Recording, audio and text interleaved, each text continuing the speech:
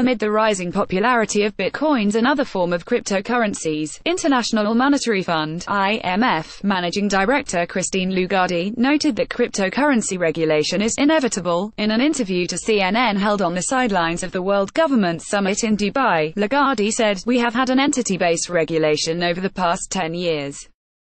After the financial crisis, we clearly have to move into an activity-based regulation. Forget about the entities, work on the activities themselves. Who does what, who is licensed to do what and who is properly regulated and supervised.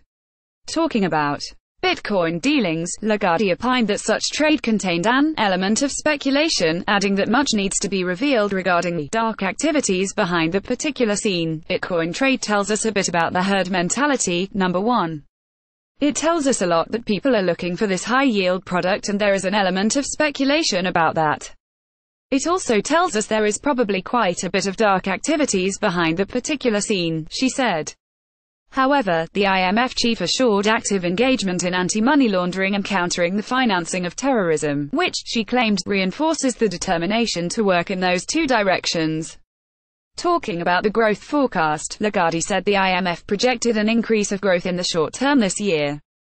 However, in the next year, Lagarde said there will be a clear impact on growth, since a lot of investment is anticipated because of the full deduction of expenditure, the risk of inflation would be linked to the fact that growth is being pushed, that salaries are higher because the US economy is working well and on many cylinders at the moment, she argued. Lagarde also maintained that deflationary tendencies may continue to sustain. This story has not been edited by Business Standard staff and is also generated from a syndicated feed.